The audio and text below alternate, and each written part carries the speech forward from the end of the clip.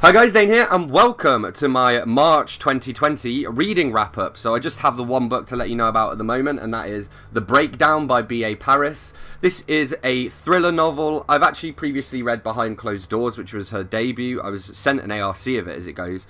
Saw this in a charity shop and thought I'd pick it up and check it out. I am a bit hit and miss when it comes to thrillers. Sometimes I enjoy them, sometimes I don't.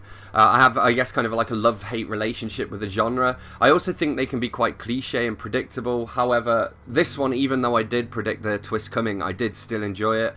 I just really enjoyed B.A. Paris's writing style, and um, so yeah, it was actually a genuine pleasure. I gave this a 4 out of 5 and would recommend it to you if you're looking for a new thriller.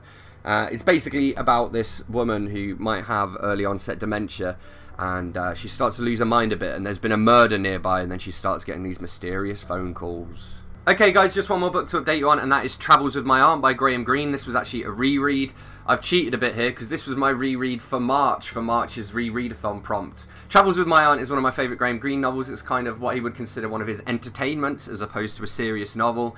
Basically, this guy who's about 60 odd, he goes to his mum's funeral, meets his aunt who he hasn't seen for years, and they end up going travelling together, and she's nuts. And we get like, you know, like there's some marijuana humour in this even. There's a kind of quite cliched, a little bit racist black character um, but he is called Wordsworth as well, so he is pretty cool.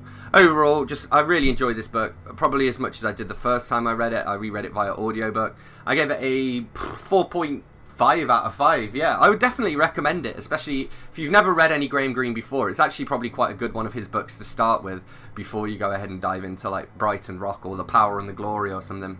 Alright, I've got another book for you guys, and that is uh, Them and that is Them Adventures with Extremists. This is non-fiction. He basically travels around the world talking to different types of extremists, from like Islamic fundamentalists to you know white supremacists, Ku Klux Klan members and stuff. It is kind of outdated by this point. It was actually first published in 2001, so it was written pre 9/11, and that kind of makes it a snapshot in time. But also, it was fascinating to read. Despite that, Ronson's got a great sense of humour. I he, I kind of think of him as like Louis Theroux, but for non-fiction investigative uh, literature, as opposed to Theroux, who works with documentaries. But they both have similar approaches to what they do and similar senses of humour as well. All in all, I did enjoy reading this. I gave it 4 out of 5, and there is a full review of this knocking around somewhere. Okay, guys, just got the one book to update you on, and that is All the Light We Cannot See by Anthony Doerr. This is like historical fiction. It kind of reminded me of The Book Thief mixed with The Miniaturist, I guess. Uh, I guess you would call it literary fiction. It was actually the winner of the Pulitzer Prize in 2015. Um, it's about a blind girl, the war, and uh, this like gem that has a curse on it. I guess it's kind of hard to, to, to summarize. Um, I have done a full review of this, so I'll link to this below. Uh, all in all, it was beautifully written. It was quite slow at times, but also like the formatting of it, at least, it did kind of keep me. Like I probably did 150 to 200 pages a day of this bad boy. So, all in all, I'm glad I read it. Um, it's not my favourite, but it was alright. I gave it a 3.5 out of 5. Alright, I've got a couple more books here to wrap up for you guys. So the first one here is Trash Panda by Leza Cantoral. This is sort of, I would say, contemporary poetry. I'm going to flick in at random, actually, and read you a poem. At war with the gremlins in my heart. My broken pieces don't fit into your pocket. You feed me crumbs, asking for love, just your touch, but a touch is too much. How do you feel when you are thinking about writing about how you feel? I think I might be melting from too many feelings. Feelings. My heart is eroding because of feelings. We'll do girl woman as well. My pains, my aches, what are they talking about? I don't know who I am anymore. Am I that scared little girl or some bitch woman? And why is that all I can think of? Are you a good witch or a bad witch? Why do I have to choose? So yeah, I really enjoyed this poetry. It's published by Clash Books, who are a pretty cool publisher. Their tagline is "We put the lists in literature." Um, I know Leza Cantoral. I mean, I've never actually met her, but we're Facebook friends and have been for a while as well. So I wanted to check out her work, and I was very impressed. I gave this a 4.5 out of 5, and it's the best poetry collection I've read so far this year. And then we have Forever Words by Johnny Cash, and this is basically some of Johnny Cash's poetry slash lyrics. Uh, they're often accompanied by uh, like mine's gone blank. They're often accompanied by scans of like the original lyrics as he handwrote them, which I think is very cool. I will say you don't really get to see another side of him here that you don't see anywhere else, and actually a lot of these are just lyrics to his well-known songs, you know. But um, I did enjoy reading it for what it's worth. It's also got some photos and stuff in. I think for a Johnny Cash fan, this would be a pretty cool artifact to have, and I'll definitely be keeping it in my permanent collection, even if I don't know if I'll necessarily reread it. Will you reread it, Biggie? You got your ass in my face. I gave it a 4 out of 5. Okay, guys, just the one book to update you on today, and that is Frenchman's Creek by Daphne du Maurier. I actually read this. Ambulance. I actually read this as a uh, buddy read. And uh, this is like a historical fiction novel, basically about this English woman who falls in love with a French pirate. That's about all there is to really say about it. Um, it was beautifully written. I did find it pretty slow, but I find that with du Maurier quite often. Um, this is my third of her books, and to be honest, when I was reading this, I was thinking about maybe just no longer reading any more du Maurier or at least taking her off my wish list and just picking her up when I saw her in charity shops. But it did redeem itself by the end. Uh, there was some great like dramatic irony in this as well. Um, like for example, the pirate goes into this room and he's like holding people hostage, and the Englishwoman's there and he's like pretending to rob her jewelry and stuff. When secretly they're lovers, and some of the conversations they have in front of these other people, great, top-notch stuff. Overall, though, still uh, 3.25 out of 5. I don't know if I'd recommend it. It just wasn't really my thing full review of this as well coming soon. Alright, I've just got one more book for you guys today, and that is Bone Chillers, The Shopping Spree. Shop till you drop. Dead. Uh, this is by Betsy Haynes, and uh, this is like a contemporary of and a similar kind of thing to the Goosebumps books. This one's set in a shopping mall.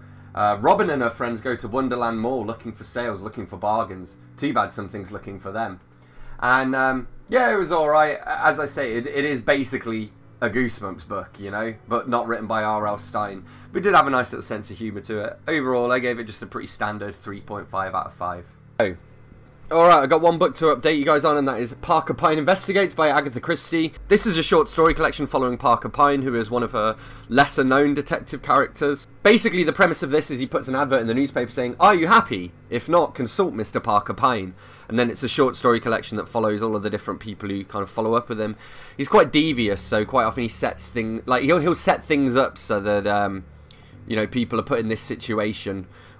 It's kind of hard to explain. Like he'll trick them into thinking that they've become a spy, for example, because he knows that they're unhappy because they have no excitement in their life. So uh, yeah, overall I really enjoyed this one. I actually gave it a 5 out of 5 and would definitely recommend it, especially if you've never delved outside of Poirot or Marple. Alright, so just the one book to wrap up for you guys today, and that is Ordeal by Innocence by Agatha Christie. Uh, this is basically about um, there's a murder is committed and this young man's sent to jail for it and he dies of pneumonia in jail and then some evidence comes to light that suggests that maybe he wasn't the perpetrator of this crime after all. I've got to be honest, it, it wasn't particularly gripping. Um, you know, Agatha Christie is great and I enjoy everything that she writes, but some of her books are more hits than others for me, and this definitely is one of the ones that was a little bit slow. The plot was okay, the characters not so much. Overall, I gave it like a pretty standard, like 3.25 out of 5. Um, not one I'd recommend going out of your way for, but obviously if you're a completionist and you want to read every Agatha Christie novel, eventually you're going to want to get to it. Okay guys, I am on holiday at the moment. This is the best shot we can do, unless I, maybe I'll sit on my knees. Try and get the height right. Slightly better, screw it. Uh, some stuff to wrap up for you guys today. So I have finished reading, where is it? Here it is. So I finished reading uh, David and Goliath by Malcolm Gladwell. So this is basically about how smaller companies and smaller people can outperform the larger ones because they're more nimble. But he does point out that the problem with that is that David was always the favourite in the fight between David and Goliath because Goliath was wearing a heavy suit of armour and was a way, way away, and David had a sling which was used in warfare. You know, it's like have, it's like shooting somebody with a bow and arrow or something. You know, if you've got a range weapon, one-on-one -on -one combat when you've got a range weapon and the other guy doesn't, you're gonna win. And then basically the rest of this was just then uh, looking at all these different examples of say, you know, Google and Facebook, they started off as smaller companies and they were able to, you know, outpace the competition. It was fine. I, I, I don't think the actual point of the novel really need elaborating on though. Like, it's a very simple concept that I think is just self-evident that smaller companies can outperform larger ones by making use of their agility. I mean, it, it, it's like a known thing, you know? So overall, I was kind of disappointed by this because I felt as though the entire book was pretty much irrelevant. I gave it a three out of five. I actually read it as a bedtime book. I've read Malcolm Gladwell in the past and really uh, really enjoyed him, but this one was just, yes, very boring, very dull, very repetitive, and won't tell you anything that I haven't just told you. You know, so three out of five for that. And then we have Cuckoo Song by Frances Hardinge. So uh, this is my third Frances Hardinge novel. I've previously read The Lie Tree, and I can't remember the other one. I think it had Shadows in the title. Uh, she kind of writes like historical fiction slash magical realism. This one is more, I would say, more like a fairy tale, but with a bit of historical fiction. It's kind of set between the two two wars. And I would love to tell you what it's about, but I got very bored during the first 150 or so pages and so didn't really pay attention to the setup. Then it did start to get interesting, but um, it's very difficult to explain it anyway, and honestly, it just isn't her best. It was very beautifully written, and I've got a bunch of tabs that I'm going to be talking about in my review, which I will link to below if it's out. But um, yeah, not one worth going out of your way for, and quite a disappointment to me, to be honest, because the first two of her books that I read, I really enjoyed, and this one just not so much. So I gave it a 3 out of 5. Alright, I've got two books to wrap up for you guys today. The first is Desperation by Stephen King. So this is a novel, it's basically set in this small town in Nevada called Desperation, and the local cop has gone nuts. And, uh, you know, we start off with him stopping some people and arresting them. Uh, you know, one of them gets shot through the stomach, this kind of thing. Uh, yeah, there's some pretty good gore bits in it, really, I guess but also it's just got that small town kind of creepy vibe. Kind of, you know how things like Texas Chainsaw Massacre, where they have that little forgotten village and there's like this mad person running around. It's very much got that vibe of like a slasher uh, movie. I actually really enjoyed it. I'm surprised I haven't heard more people talk about this one. I gave it a 4.5 out of 5, and there is a full review which I will link to below if I remember to. And then I read Birthday Letters by Ted Hughes. So this is a collection of his poetry. I'm going to read you uh, one of his poems just to give you a feel for his style. I like this one, for example. It's uh, God help the wolf after whom the dogs do not bark. And the wolf in question here is Sylvia Plath. Settle in, this is quite a long one. There you met it, the mystery of hatred. After your billions of years in anonymous matter, that was where you were found and promptly hated. You tried your utmost to reach and touch those people with gifts of yourself. Just like your first words as a toddler when you rushed at every visitor to the house, clasping their legs and crying, I love you, I love you. Just as you had danced for your father in the home of anger, gifts of your life to sweeten his slow death and mix yourself in it, where he lay propped on the couch to sugar the bitterness of his raging death. You searched for yourself to go on giving it, as if after the nightfall of his going you danced on in the dark house, eight years old in your tinsel, searching for yourself in the dark as you danced, floundering a little, crying softly, like somebody searching for somebody drowning in dark water, listening for them, in panic at losing those listening seconds from your searching, then dancing wilder in the silence. The colleges lifted their heads. It did seem you disturbed something just perfected, that you were hold- that they were holding carefully all of a piece till the glue dried, and as if reporting some felony to the police. They let you know that you were not John Donne. You no longer care. Did you save their names? But then they let you know day by day their contempt for everything you attempted, took pains to inject their bile as for your health into your morning coffee, even signed their homeopathic letters, envelopes full of carefully broken glass, to lodge behind your eyes so you would see. Nobody wanted your dance. Nobody wanted your strange glitter, your floundering, drowning life and your effort to save yourself, treading water, dancing the dark turmoil, looking for something to give. Whatever you found, they bombarded with splinters, derision, mud, the mystery of that hatred. So yeah, overall, I really enjoyed this collection of poetry. I would give it a pretty solid 3.75 out of 5. I mean, the problem with Ted Hughes is that I always compare him to Plath, and I always prefer Plath. So that's basically why he didn't get 4 stars. Sorry, Ted. Okay, just the one book to wrap up for you guys today, and that is Much Ado About Nothing by William Shakespeare. So um, this is one of his, I suppose it's kind of humorous, but there's also some sort of comedy and drama in there as well. And um, yeah, it's uh, there's like this case of mistaken identity in it, various other things happening. And uh, yeah, well, here we go. One of Shakespeare's most witty and enjoyable comedies, Much Ado About Nothing, is a play that explores courtship, romance, and marriage through a number of relationships. So that's what it's about, you know. Um, I enjoyed it. I gave it a 4 out of 5. What was interesting about this version was that the notes were on the left hand side and the play was on the right hand side. And that actually made me feel like I was, I was making real progress when I was reading it. and um, I didn't really need the, the notes too much. Um, I read there's like introductions to each of the scenes, and so I read those, and that gave me enough context that I didn't really need um, anything else. And so, uh, oh hey Biggie, and uh, so yeah, it was uh, an enjoyable little read. I gave it a four out of five. All right, guys, just the one book to update for you today, and that is Moriarty by Anthony Horowitz. This is a Sherlock Holmes novel. Uh, it's like authorized by the Sir Arthur Conan Doyle estate and whatnot. He's also actually previously written The House of Silk, which I did enjoy. This one, not so much. It was okay, and there was a pretty good twist at the end.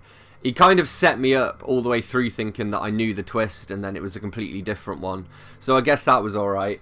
Uh, Horowitz himself is pretty well known and well respected for his Alex Rider books. Uh, he's also written a new James Bond novel that's coming out as well, which I kind of want to read. I only really read this because I'm a Sherlock Holmes fan, I guess. I mean, I've read all the Sherlock books. I'm actually trying to slowly read everything that Sir Arthur Conan Doyle ever wrote. So uh, that's kind of why I ticked this off. Otherwise, I don't think it's really worth reading it. Overall, it was just alright. I gave it a 3.5 out of 5. Alright guys, just the one book to update you on today and that is One Hit Wonderland by Tony Hawks. As you can see from the tabs, I will be doing a full review of this. Basically, this is non-fiction about this guy. He had a one-hit wonder in 1988 and in the early 2000s he decided he's going to try and get another hit song uh, so that he's no longer a one-hit wonder. And this is basically his journal of his travels throughout the world trying to make that happen. So he went to like Holland, I think he went to Africa at one point, uh, he went to Nashville. So it's like a travel book but also with this humorous element and with this kind of plot to it as well, you know. Really enjoyable and a great book to read at the moment while everybody's in lockdown and stuff. So overall, I gave it a pretty solid 4 out of 5 and would recommend. Alright guys, another book to wrap up for you today, and that is Gerald's Game by Stephen King. Uh, this is basically about a woman who is handcuffed to a bed as part of a sex game by her husband, and then he dies. And it's pretty much focused on that and then follows her attempts to escape, but she's also coming to terms with some stuff that happened in her past definite trigger warnings for child abuse, um, rape, and that sort of thing. But actually, I thought it was well handled. King normally does do that very well. And uh, the main characters feel very real. I mean, I'd actually seen the movie of this first, so I knew the basic plot, but I couldn't remember how it ended. And honestly, it was a joy to read anyway. It took me like less than, it took me about 36 hours to read this. Just whiz through it. Full review of this will be coming soon, but overall, I did enjoy it. I gave it a 4 out of 5. Didn't I, Biggie? Yeah, I did. I have three books, I guess, to talk to you about. Two of them are my own book, which is Former.ly. I'm counting these in my reading total of the month because I can.